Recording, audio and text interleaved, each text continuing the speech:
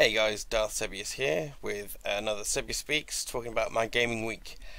Now, I feel a bit bad, and I want to apologise that I haven't really been putting out much for Allies Index the last week. I've been having quite a lot of troubles uh, with my yeah physical and mental health, and things have been a bit tricky. But there's still been some gaming, some stuff going on, and some stuff to talk about, and there's still things that I really want to be making more videos and doing more Let's Plays and stuff. It's just balancing life and things and conditions, and that's all fun games in itself. So, yeah, let's get on with a little look at the week and things that have been going on. Uh, we had a, an intro session to um, East Texas University on Monday. Uh, last Monday, that was. We set up our characters. Um, well, I, I set my character with, with Toxic, um, and we got some things planned. East Texas University sounds like it's going to be awesome. We had our first session properly today, uh, but that was something I'm talking about uh, next week. But I've been setting up so, but just an idea of East Texas University. It's a Savage uh, Lands uh, roleplay uh, game. It was kickstarted, and it's kind of got a Buffy meets Supernatural at university in East Texas. Basically, is the kind of vibe, um, and it's going to be rather Scooby Gang investigating and trying to do stuff and finding finding ways to sort out and deal with the supernatural rather than shoot it in the face with mass reactive shells and then stab it and then punch it again. Uh, a bit more sneaky, sneaky, do the stuff and work stuff out, which I'm really looking forward to. Um, even though normally I like to be bonk on the head, do the killy, take all the damage stuff. But I'm really looking forward to this, and I did have a good fun session today. Uh, my character is uh, Tina Dinklage. Uh, she is kind of an amalgamation of uh, Tina Belcher from Bob's Burgers, uh, Willow from Buffy the Vampire Slayer, and Velma from Scooby Doo. Um, so she likes she's she's uh, majoring in biology. She likes horses. Um, she's maybe going into uh, be doing equestrian studies at some point. Uh, she's into the occult, which is something she's been spending a lot of time uh, on chat rooms and on the internet looking into. Uh, she's kind of she's she's devout. She's not. I'm not quite decided what kind of uh, faith she she has. She's kind of maybe have a bit of paganism or she's very interested in in the just generally the occult as a whole uh, she's a bit of an occultist and that's kind of message boards and things of and the weird happenings and whisperings are kind of the reason that have brought her all the way from Balmer Baltimore um, uh, to East Texas uh, and she plans to find some weird stuff, study some biology, and hopefully uh, chat with a few boys because the the Tina Belcher in her is rather strong, and she is a strong central woman um, who yeah likes horses, the occult, and and boys and, and, girls. She's she's fairly open. Um, so yeah, I look forward to talking a bit more of that and playing a bit more of that. Uh, but it seems like it's going to be a lot of fun and a bit different to, well, very different because we've been doing a lot of the 40k role plays, which are awesome, very awesome, and we've still got Black Crusade to start, and um, that's with the Allies Index group. And also, uh, Sarah and I are going to be starting Dark Heresy at some point. It's just difficult. That's with our Friday Night Magic uh, some of the people from Friday Night Magic because it's difficult with them being in the same place and organizing stuff. But we have the books now, so characters will be made, and I will be talking about those at some point in the future. I also want to talk about roleplay stuff generally. I want to do some more. Uh, Sebious speaks, talking about some of the characters um, I've had over different systems and campaigns, and the campaigns that I've destroyed because I've destroyed campaigns because I'm an awful person. I don't mean to, but that just sort of happens. Um, so yeah, that was Monday. Tuesday we had um, another uh, Toxic and Seb challenge uh, for the Allies Index title, uh, which, as as we all know, after last week, uh, after the first week of the um, Allies Index uh, NFL draft, uh, the fantasy football season, uh, I was winning and I actually beat Toxic, and I was very happy and had my picture with Garrick's axe and my crown and the Die Wizard Cup and all that good stuff. I say Die Wizard, it's the Tri Wizard Cup, but we fill it with dice, so therefore it's the Die Wizard Cup. Um, and so we had the next challenge, and that was an EDH challenge. Um, basically, I was playing Mindseas with a few little alterations made. Um, no, was it? No, no, lots of alterations made because I, I kind of went rather heavily zombie. I decided to go on the zombie vibe. um, zombied up a little bit with the bits and bobs I had. Um, and came up against his mimoplasm or mimeoplasm. People, there's lots of different pronunciations that people are throwing about. Mimoplasm is where I think I'm at. Um, which is is is disgusting. I think uh, uh, Sean kind of called him out um, about not being a real deck, and then Toxic put the most amazing Photoshop picture. Well, I I don't even think it's Photoshop, I think it really happened of uh, Toxic in his onesie uh, sipping mojitos on an actual piece of decking with mimoplasm in a, in a coconut bikini. So if you haven't seen that Nice Index, I do recommend trying to find it because it's a beautiful, beautiful image. Uh, but mimoplasm is is evil, evil, evil. Comes in with the as, as, as a copy of something in the graveyard with the strength and toughness of another thing in the graveyard, and infect.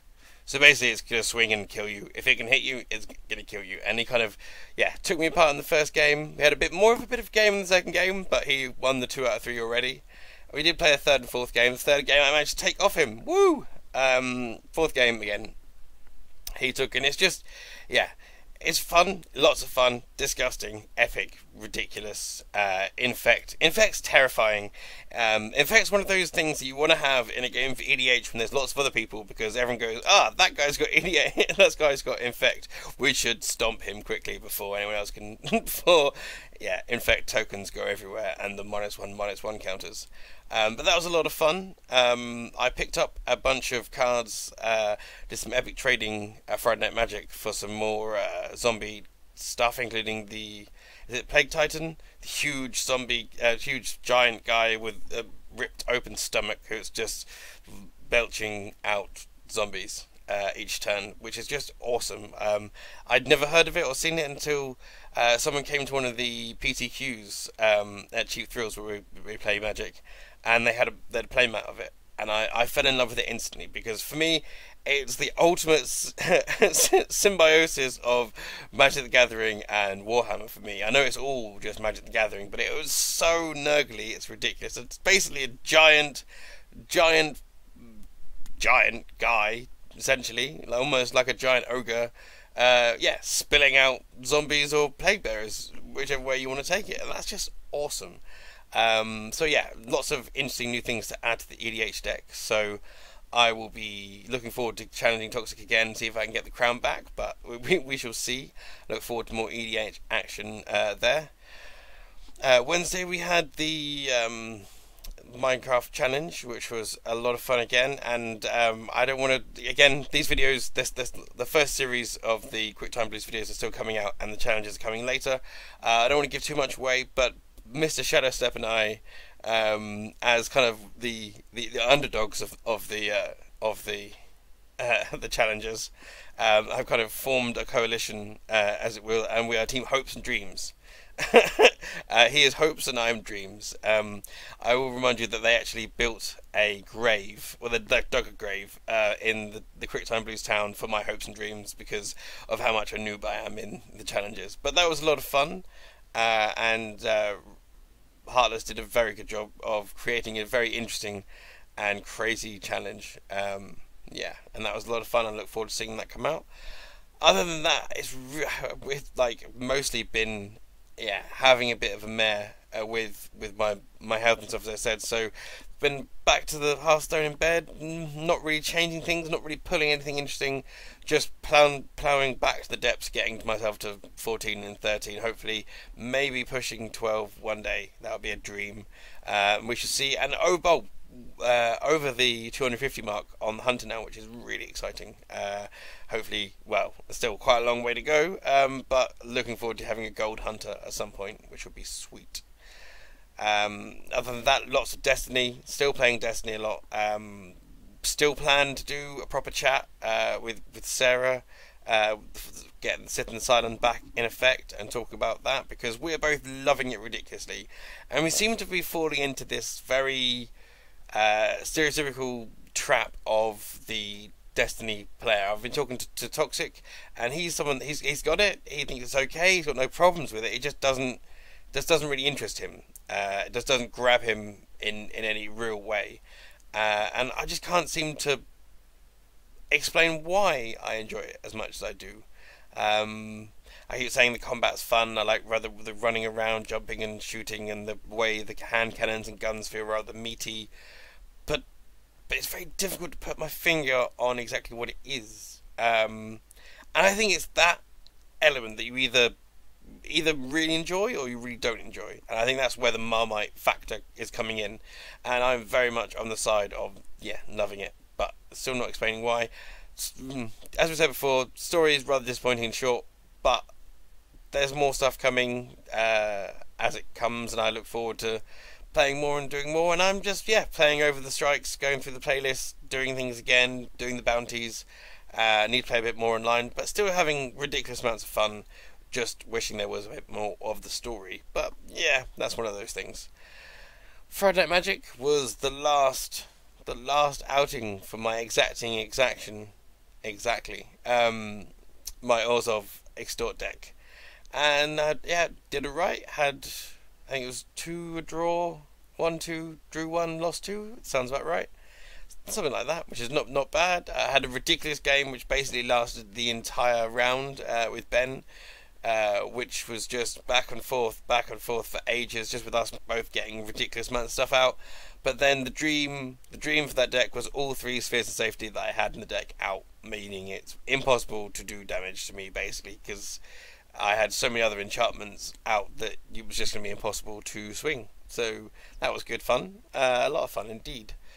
Um, so yeah, that was awesome. Uh, oh, and this weekend has been the weekend of the Khans of Tarkir uh, pre-release epicness. So we had Friday Night Magic on Friday, and then Saturday night we had a two-headed giant event, um, and I chose Jeskai, uh, the blue, blue, white, red, or I'm not sure which order it's in, but blue, the blue, white, red color guys.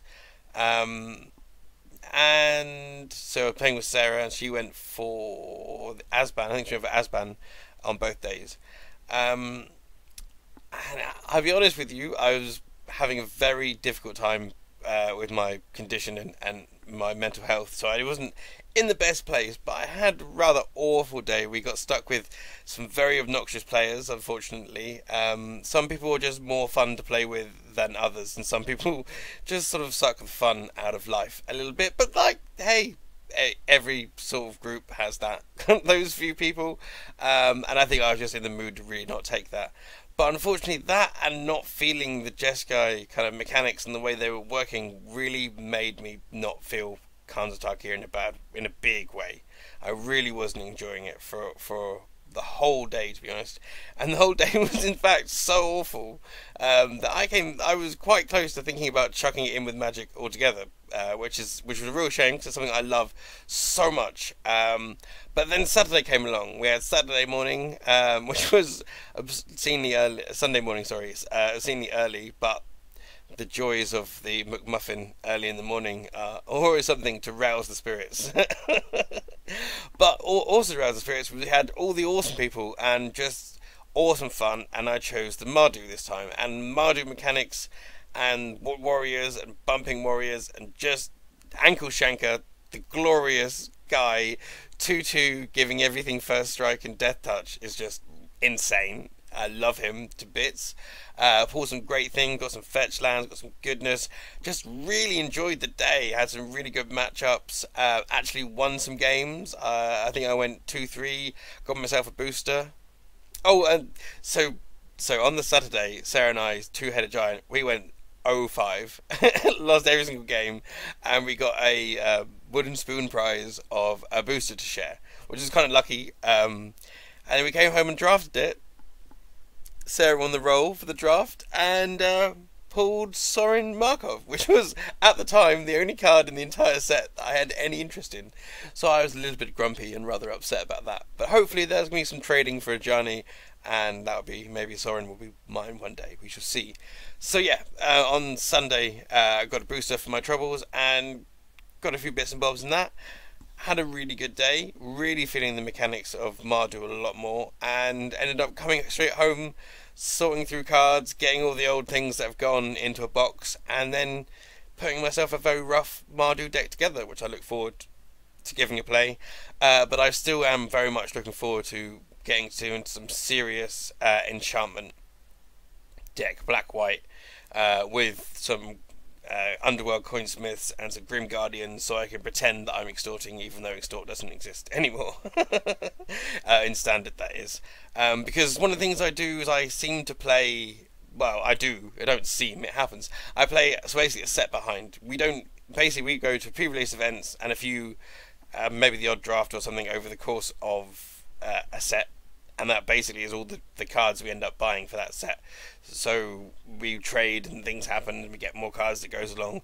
So I end up playing a set behind. That's why I was playing Orzhov for the end of Theros, and I'll be basically playing stuff from the Theros block, bolstered with stuff from the new Khans Tarkir, which finally I'm now excited about after the Mardu, and I look forward to seeing how my Mardu deck goes.